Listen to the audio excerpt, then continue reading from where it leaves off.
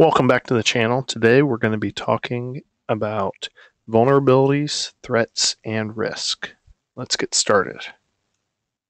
First up, we're talking about vulnerabilities, and that's pretty much any kind of weakness, flaw, or error uh, that could be found within a system or process that you're using to protect any kind of asset that is then leveraged by a threat. So to kind of demonstrate this, we'll have some kind of asset. And that could be uh, people.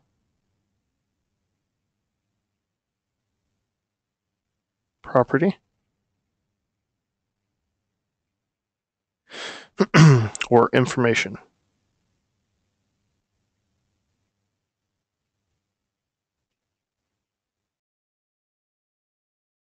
And we're protecting it from some kind of threat.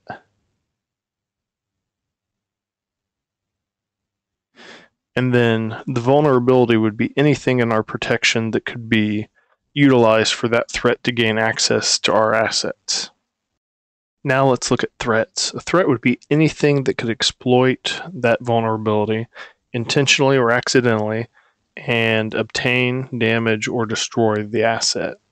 And we break threats down into three categories we have intentional threats, unintentional threats, and natural threats. So, an intentional threat could be something like malware or a phishing attack.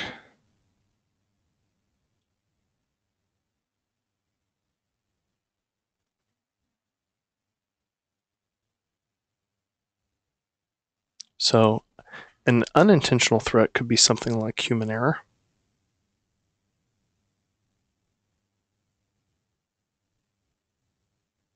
And this could be something like a software bug.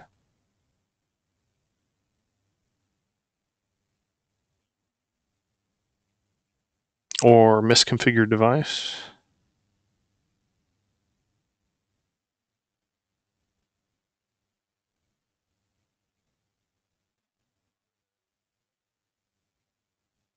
And really, the difference here is the intent. Did the uh, threat actor or whoever caused this attack mean for this negative consequence? So, intentional malware phishing attacks, people are designing these attacks in a way that they are trying to uh, obtain information, trying to destroy assets, whatever. Unintentional, it's an accident. Uh, not the intended consequence. and the third type of threat that we have would be natural threats. and this is generally something more like a natural disaster. So could be something like a fire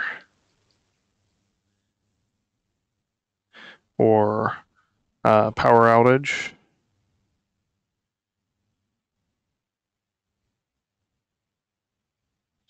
And this could be caused by something like a storm.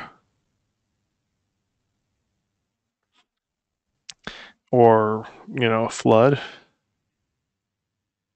and these are all things that uh, we don't necessarily have control over but they could negatively impact our assets so it's definitely still a threat and before we talk about risks let's talk about our question of the day Today, uh, I'm wondering what cybersecurity threats do you face on a regular basis? Leave the answer in the comments below and we can discuss it. And finally, we're going to talk about risk. Risk is the potential for loss or damage, destruction uh, of an asset when a threat takes advantage of a vulnerability. so something else to keep in mind uh, these you know this would be the effect of the threat but when you talk about risk you also have to talk about the potential of a threat what are the chances that it will actually occur? So we could have two threats. Say we have a home.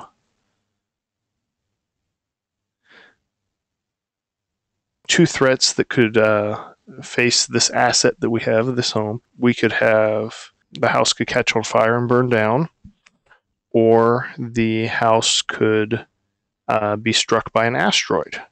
Now, while both of these are threats and there's risk associated with both of them, we're going to carry fire insurance, because that's a very common risk. There's it's a common threat. It, there's a certain likelihood that it would happen.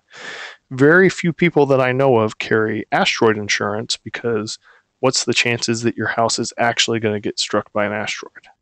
Whenever we're discussing risk, you have to also discuss what's the potential for any specific threat and then rank threats and risks based off of the potential that they might actually occur.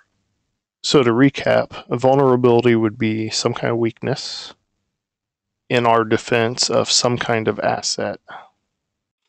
And then a threat is anything that will use the vulnerability or weakness in a, an attempt to obtain damage or destroy whatever we're trying to protect, whatever asset that could be. And then risk is the effects of a successful threat using a vulnerability against our assets. And whenever we talk about risks, we have to talk about what are the chances that this threat will actually happen. Thanks for watching the video. If you found this helpful and informative, uh, like and subscribe and stay tuned and hopefully we'll see you on the next one.